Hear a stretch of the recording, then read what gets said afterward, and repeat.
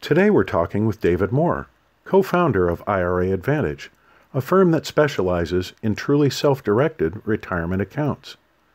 David, what are some popular IRA retirement solutions?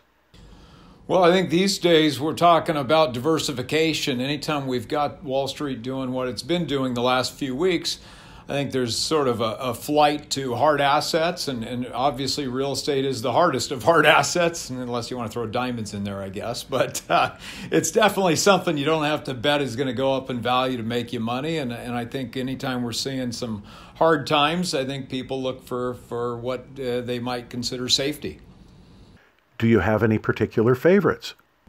Well, I, I think you know one of the big things that people just don't think about, and I had a conversation with someone this morning you get all this money in your plan and you got to get it out at some point. and when you get to that 70 and a half you have to get it out so it's not even by choice at that time so i think one of the things that people don't really think about eh, or, or don't haven't ever considered just because it's not something that's really possible on wall street is taking in-kind distributions so consider a gentleman that, that has a property and they want to take that property out as a distribution. They could take that property out as a distribution over a couple of different years and they could actually do a cash out refinance to pay the tax obligation on that distribution. So I think that's really a great opportunity. It's something that people just don't think about at all.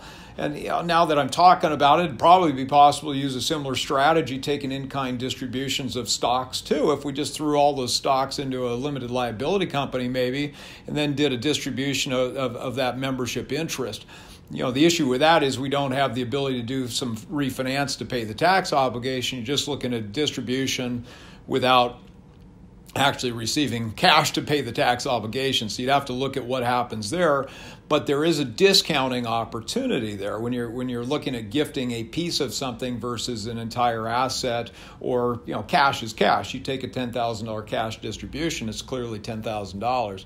If you're taking a ten thousand dollar interest in a piece of property, maybe it's worth six seven thousand dollars but you know that's tax planning that you can do with your tax people. It's like i said it's a great opportunity and and the reason i brought up with respect to real estate is whether it's a roth conversion or a full distribution of the property you've got the ability to use financing to pay that tax obligation which i just think is a tremendous opportunity. Something that's that that I, I just i don't think is really done very often. So i think i like it.